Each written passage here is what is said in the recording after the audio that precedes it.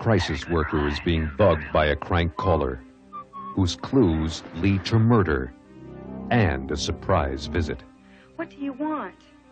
Don't you know, my precious? I want you. Now the killer's got her number. He's gonna try and kill me, Justin.